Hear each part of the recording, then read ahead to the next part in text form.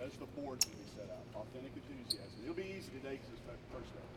Receptive to coaching, meticulous preparation. That's remember.